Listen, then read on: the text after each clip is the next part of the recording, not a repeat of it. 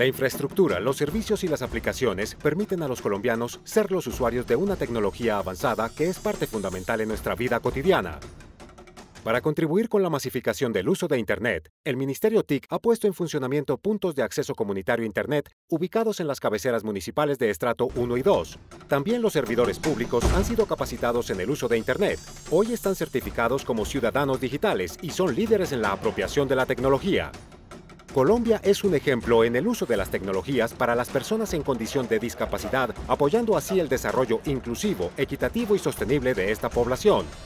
El gobierno adquirió una licencia país para que las personas ciegas puedan descargar un software que les permite usar Internet. También se han instalado centros de relevo, puntos de comunicación para personas con discapacidad auditiva. Igualmente las personas ciegas y sordas y sus familias pueden ir a cine gratuitamente gracias al programa Cine para Todos a través de un sistema de autodescripción comprometidos con la responsabilidad social en el uso de las TIC.